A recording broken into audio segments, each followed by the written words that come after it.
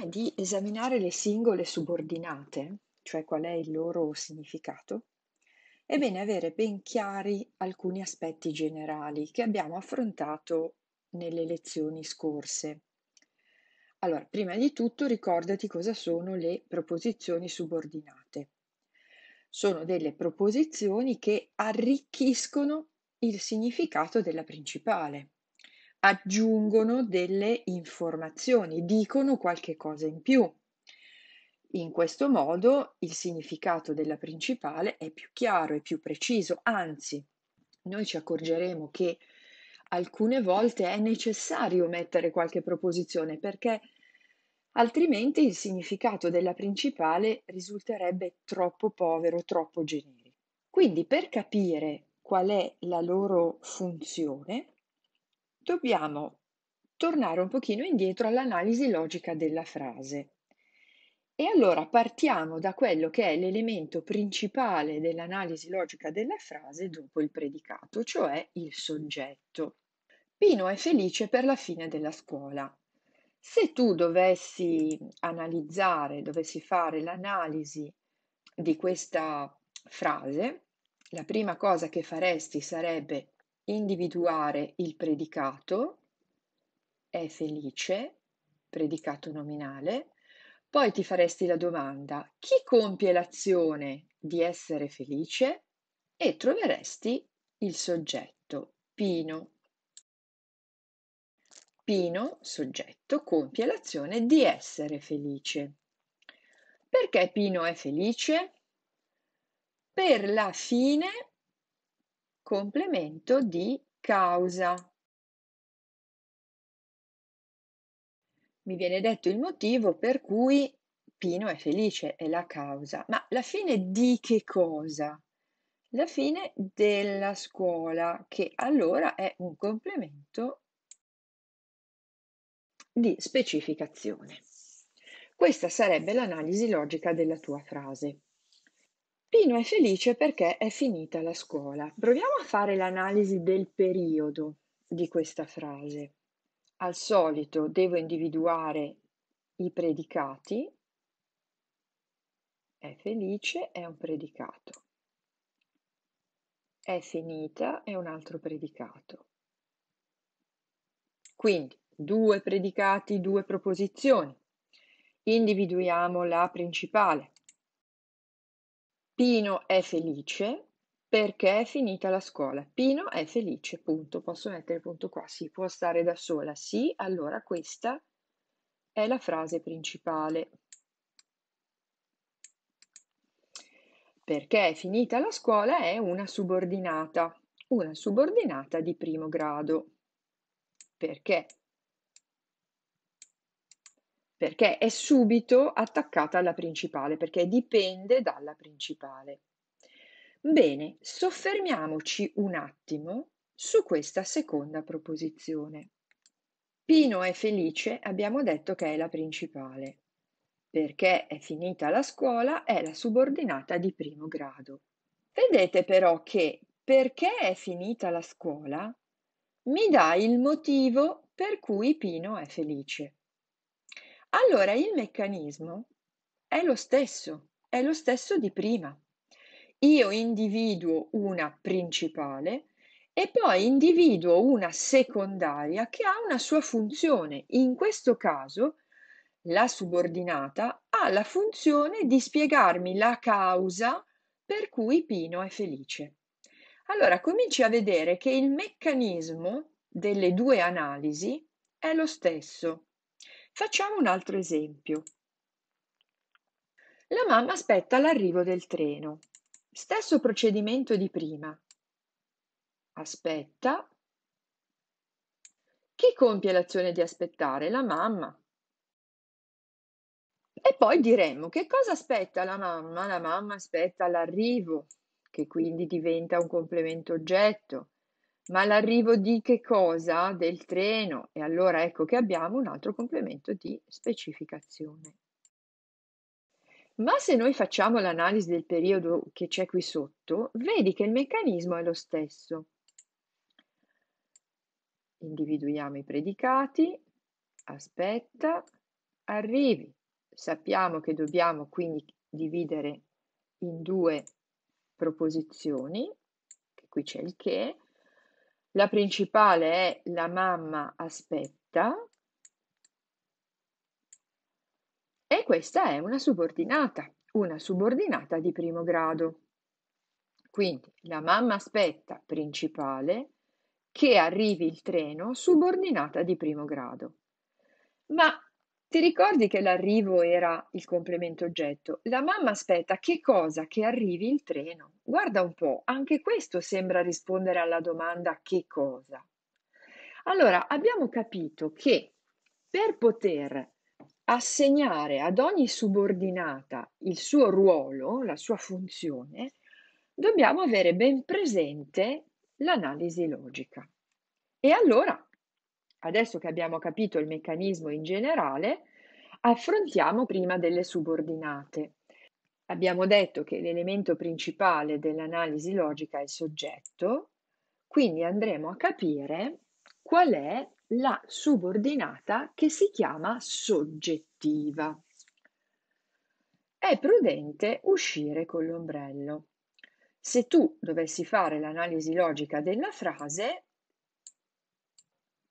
divideresti in questo modo la frase per poi dire che il predicato è questo, perché è la prima cosa che si deve trovare. È prudente. Predicato nominale. Chi compie l'azione di essere prudente? L'uscire. Se ti ricordi, Qualsiasi parte del discorso può essere un soggetto, eh? quindi anche un verbo all'infinito. Con l'ombrello è un altro complemento che sarà un complemento di unione. Quindi è prudente, predicato nominale, uscire soggetto con l'ombrello. Facciamo invece l'analisi del periodo. È prudente è un predicato, uscire è un altro predicato, quindi io so che questo periodo sarà diviso in due. Una principale è prudente e una subordinata di primo grado.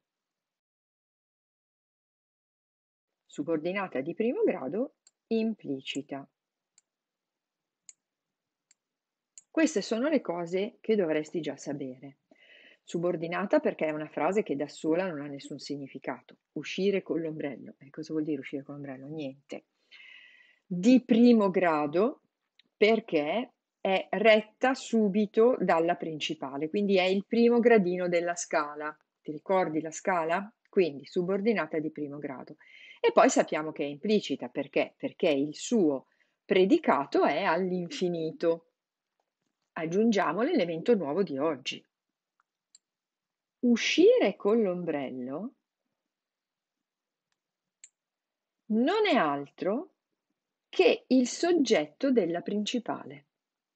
È prudente, ma chi compie l'azione di essere prudente? L'uscire con l'ombrello. Cioè l'azione di uscire con l'ombrello è prudente. E allora io la chiamerò soggettiva. Quindi la proposizione soggettiva fa da soggetto alla sua reggente. Come faccio ad avere una prova di questo? Oltre al mio ragionamento logico, che è sempre la cosa migliore che puoi fare, controlla che nella reggente non ci sia il soggetto. C'è il soggetto qui dentro? No, è prudente, non c'è nessun soggetto. Perché? Perché il soggetto è questo, uscire con l'ombrello. Vediamo insieme queste due frasi. Sarei contenta è un predicato. Amassero è l'altro predicato. Benissimo. Allora, individuiamo la principale. Sarei contenta, perché qui poi c'è un se, quindi ormai abbiamo imparato benissimo a dividere il periodo. Sarei contenta principale. Se tutti amassero la grammatica. Questa io posso già dire che è una subordinata di primo grado, in questo caso esplicita, perché ho un congiuntivo, può essere una soggettiva? No, perché guarda, sarei contenta contiene già il soggetto. Chi è il soggetto di essere? Io sarei contenta. Quindi questa non può essere una proposizione soggettiva. Vedi che quello che abbiamo detto prima funziona.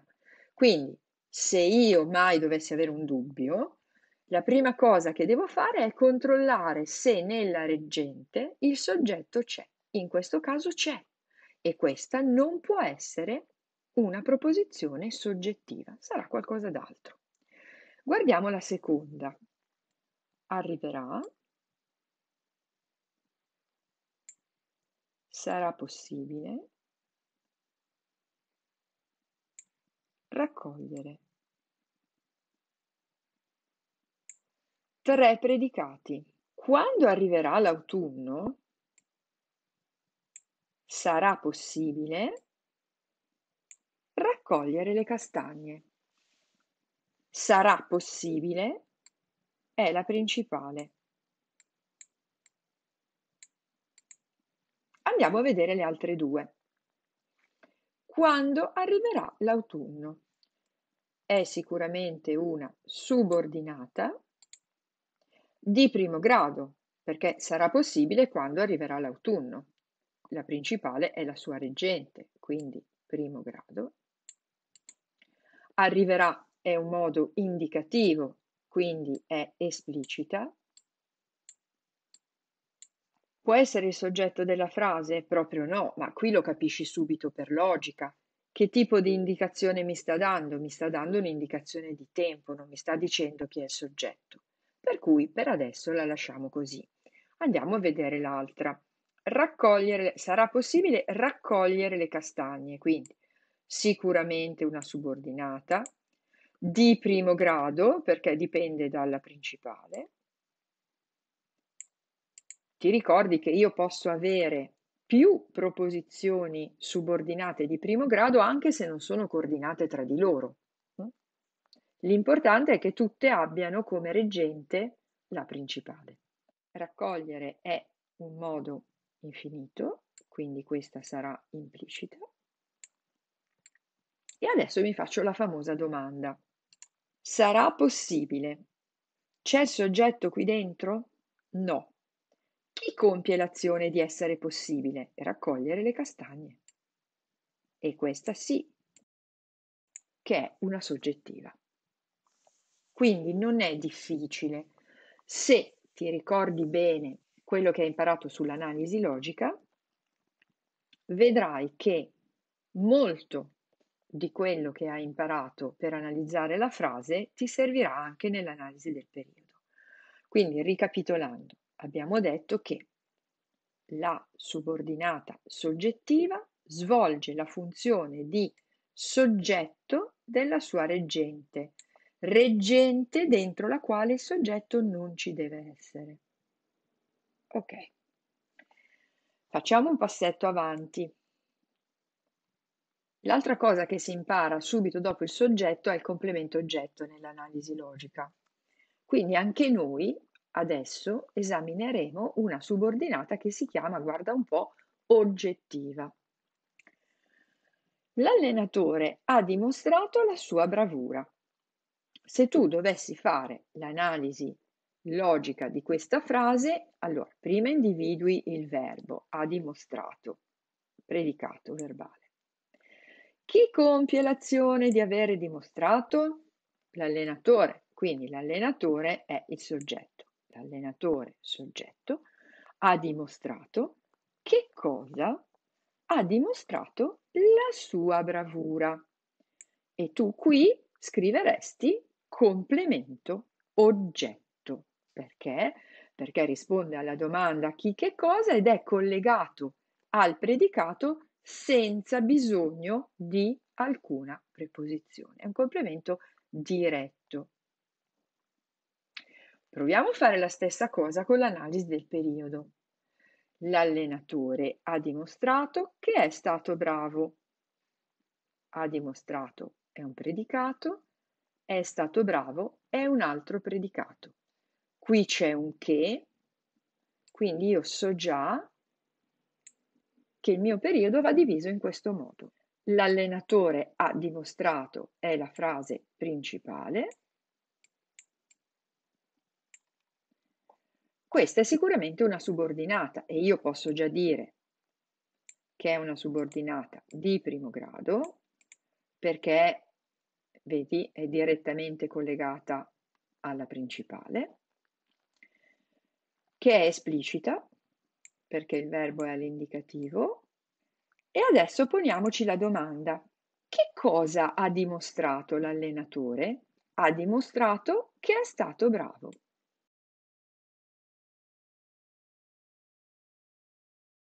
E infatti è una subordinata oggettiva.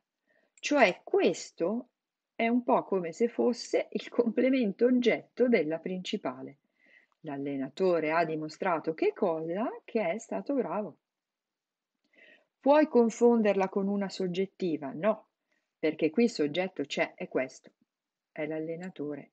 L'allenatore compie l'azione di dimostrare, quindi io non ho bisogno di una subordinata che svolga la funzione di soggetto, ma ho trovato una subordinata che svolge la funzione di complemento oggetto. Analizziamone qualcun'altra ancora insieme. Credo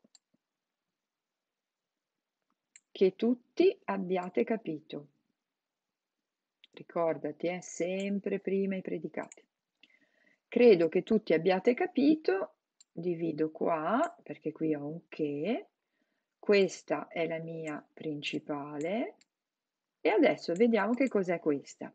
Partiamo dagli elementi che ormai sono consolidati è una subordinata sicuramente, è di primo grado sicuramente, è esplicita. C'è il soggetto qua? Certo che c'è io, io credo, quindi già abbiamo escluso la soggettiva. Ma che cosa io credo? Io credo che tutti abbiate capito. E allora è un'oggettiva perché svolge la funzione di complemento oggetto della sua reggente. Io credo che cosa che abbiate capito. Attenzione, questo che nelle oggettive è sempre una congiunzione. Non sarà mai un pronome relativo. Questo è un altro dei campanellini d'allarme che devi tenere ben presenti. Veniamo alla seconda frase. La prof mi ha consigliato di ripassare. Ha consigliato e ripassare. La prof mi ha consigliato, sbarretta, qui abbiamo la preposizione, questa è la principale, questa è una subordinata di primo grado, in questo caso implicita, che cosa mi ha consigliato di fare la, la prof? Di ripassare. Quindi ho trovato la mia oggettiva. Oggettiva esplicita, oggettiva implicita. Qui il soggetto c'era già, era la prof, quindi nessun dubbio. Veniamo all'ultima Sentivo la grandine picchiare sul tetto. Sentivo picchiare. Due predicati, due proposizioni. Sentivo la grandine. Questa è la mia principale.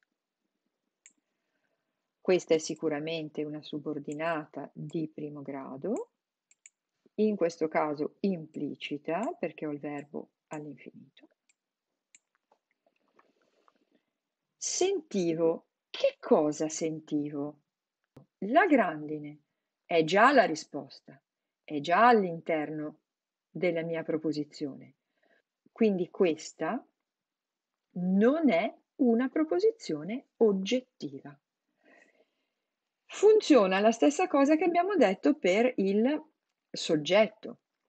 Se c'è il soggetto nella reggente non posso avere una soggettiva, ma se c'è l'oggetto nella reggente non posso avere un'oggettiva. Quindi ti ho fatto questo esempio proprio perché tu capissi di non cadere nelle trappole. Adesso facciamo così. Io ti ho preparato delle frasi, tu ferma il video, sul tuo quaderno fai l'analisi e poi riprendi il video che facciamo la correzione insieme.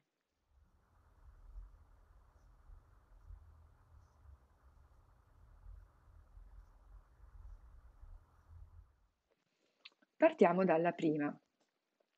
Molti pensano che Roma sia la città più bella del mondo.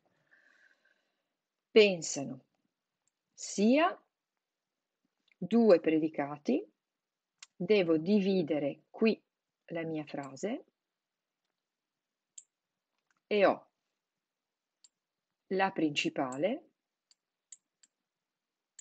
molti pensano, e una subordinata di primo grado, sia è un verbo al congiuntivo, esplicita. Molti pensano. Che cosa pensano? Che Roma sia la città più bella del mondo. Oggettiva. È chiaro? Qui c'è il soggetto, ma non c'è il complemento oggetto. Perché? Perché il complemento oggetto diventa questa proposizione. Fu annunciato che ci sarebbe stato uno sciopero. Fu annunciato è un predicato, ci sarebbe stato è un altro predicato. Io qui oltretutto ho un che che mi fa subito capire che devo dividere così. Fu annunciato è la mia principale. Questa è sicuramente una subordinata di primo grado esplicita perché ho il verbo al condizionale. E ora passiamo alle domande. Chi compie l'azione di essere annunciato che ci sarebbe stato uno sciopero? Quindi soggettiva. Facciamo la prova. Andiamo a vedere. C'è il soggetto qui dentro? No, fu annunciato, fu annunciato, viene usato in modo impersonale, fu annunciato, non, non ho il soggetto. Quindi il soggetto della reggente è questo, che ci sarebbe stato uno sciopero. Stai attento a non fare l'errore, che ohimè capita anche nell'analisi logica, di partire dal predicato, chiedersi subito che cosa e dire ah ecco ho trovato il complemento oggetto. No, ricordati sempre che sia nell'analisi logica sia nell'analisi del periodo, quando sei davanti a un predicato, devi sempre porti il problema del soggetto. Quindi prima risolvi il problema del soggetto, perché una volta che hai risolto quello, tutto il resto sarà più facile e difficilmente lo sbaglierai. Teo adora leggere e giocare a tennis. Io qui ho ben tre predicati: adora, leggere, giocare. Quindi Teo adora leggere e giocare a tennis. Teo adora è la mia principale. C'è soggetto? Sì, c'è, Teo, basta. Quindi io soggettive non ne ho.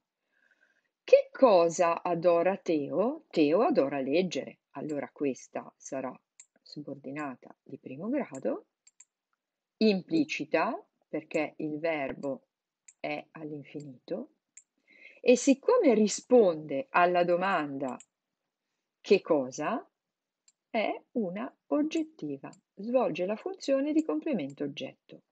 Perché ho messo giocare a tennis sullo stesso gradino e non un gradino sotto? Perché questa è una coordinata alla subordinata di primo grado. Infatti, anche lei è un'oggettiva. Teo adora che cosa? Leggere. Teo adora che cosa? Giocare a tennis. Quindi io le devo tenere allo stesso livello perché sono due coordinate tra loro. Così abbiamo ripassato anche le coordinate. E veniamo all'ultima. Occorre mangiare la frutta per mantenersi in forma.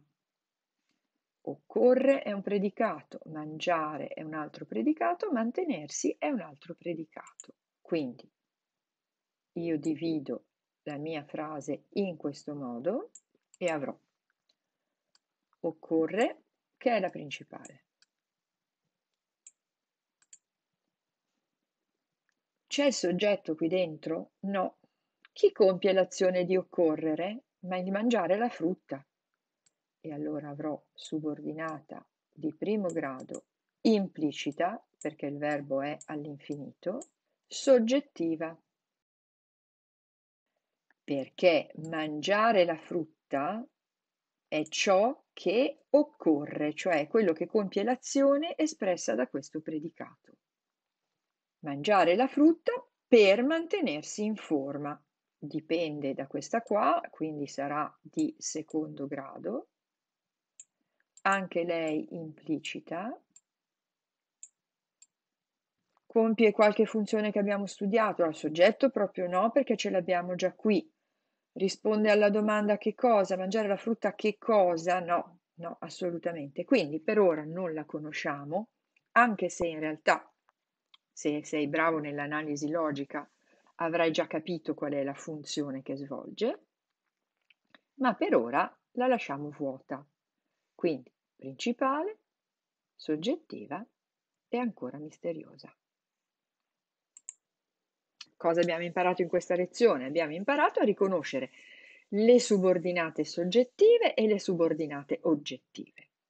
Abbiamo ripassato un po' degli elementi che già sapevamo, ma soprattutto abbiamo ripassato questo concetto che io per poter fare un'analisi corretta devo sempre individuare il predicato, il soggetto e poi farmi le domande giuste. Ti aspetto alla prossima.